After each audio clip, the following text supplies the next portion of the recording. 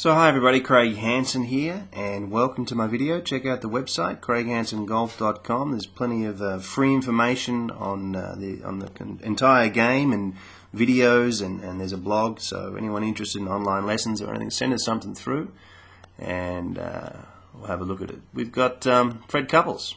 Uh, what an amazing player. Been a great player for so many years, nicknamed Boom Boom. It's the ball, incredible distances, and what a talent. Very, very interesting golf swing. Later in the video, we got a, a slow motion, a close-up picture of his hands and his hand action, which is quite fascinating. But let's get in there and have a look. Now, just it's in slow motion, this video, but I'll just run through it, and we'll just have a look and see what we see in this first part of the swing. So we see the club goes outside. You see some lowering with the head. Sort of see like that. Of a funny leg movement here. He likes to aim left, likes to fade it. It's got a really strong grip. So we'll have a look at it now. You see that he, he takes, he stands up pretty uh, upright. He's uh, up in the high 60 degree area. You'll see that Fred grips it really strong with his left hand. You see he takes it way outside, away from the original shaft plane. He turns late with his shoulders, and with such a strong grip, he's going to cup the left hand what's fa fascinating is like, I mean, that right arm is just so high, uh, left wrist cupped, and the left arm is actually pointing between the ball and his feet. You don't see that very much, and you see the amount of lowering that he's done with his head. One of the hallmarks of generally of great hitters, and most of them will lower their lower down or compress downwards into the ground. But to actually be able to swing into that position and uh, and hit the ball so pure is, is really really difficult to do. And it just uh, goes to show you how talented this guy really is. And you'll see that when he comes down, you'll see that the right arm now, well, squeezed down or pinched down from such a high angle. And he'll manage to, in such a short time, to get the right elbow back on the original shaft plane and underneath the left arm. And that uh, that is extremely difficult to do. And into this position, the hips have turned very early, which we'll look at in a second. Head's lowered again. And as he comes down into impact, the shaft plane, he's got so much room for that elbow to pass. You can see that the hips stay back on the original line. And it gets interesting round about now, where you'll see the right leg being pulled back in and a massive hip pause through the ball. So Fred's from the front side. We'll have a quick look at that later. His foot, well, actually, right foot actually slides up, but it's a huge hip pause. And you know, to turn your hips that early and, and to have the ability to freeze them, and some of the other stuff that he does is just simply fascinating.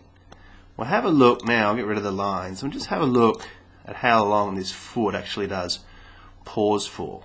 You'll see that the right knee will get pulled back in and you'll see that the right foot will actually go down somewhat and the left heel is actually lifted off the ground. Now when the left foot lifts off the ground it acts as a, a pausing mechanism for the hips and you'll see that right through even to here the right leg hasn't right foot hasn't gone any higher.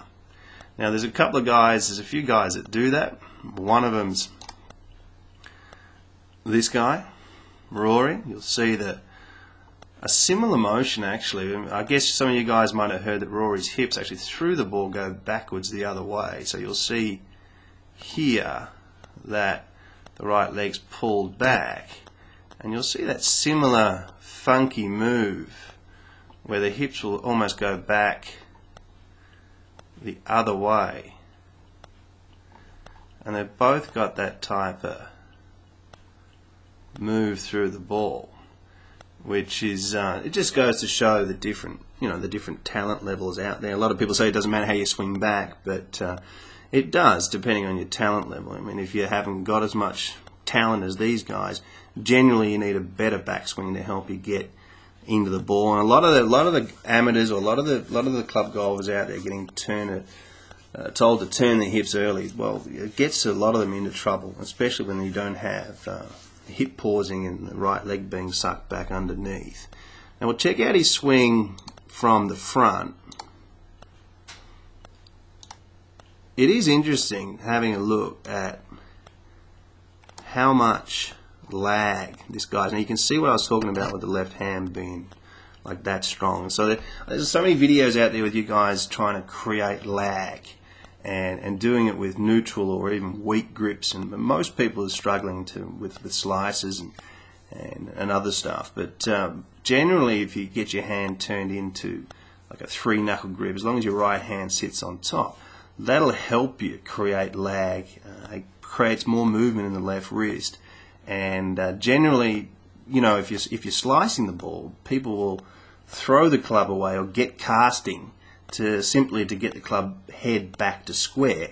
And uh, if you turn your left hand in, you'll, you'll find that uh, in the long run, it'll it'll create more power and help you create some lag. So let's have a look at his. Let's have a look. At his. And he turns his shoulders really late at this point here, wide takeaway, and he tends to turn everything up into this point of the swing now. Great moves. He's got a left heel here. You'll see that it's off the ground. The left heel is going to go back on the ground. Big lateral shift with the hips. And just a massive amount of lag. Like, for, for a normal person to get that much sort of lag, they'd probably just hit sockets away out to the right. But uh, incredible club head speed if you can create that. We'll have a look at his hand action just in a second from close up. It's fascinating.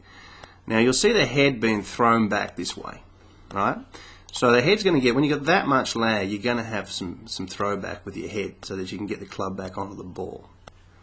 As the left hand hits the wall, we've got one line, so we know that when he's hitting irons, he's going to be even further forwards laterally than that. You see there's some room in here between the shoulder and the, and the wall, or this line heading upwards. And that, uh, my friends, is an unbelievable impact position.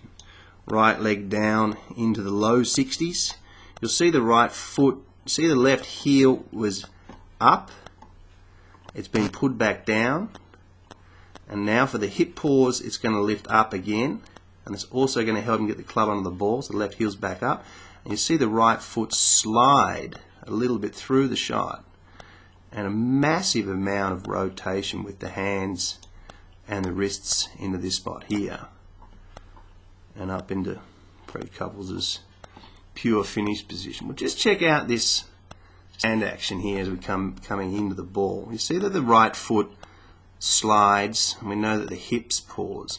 You'll actually see that he lets go of the golf club here with both fingers. Like the hand's not even on the golf club.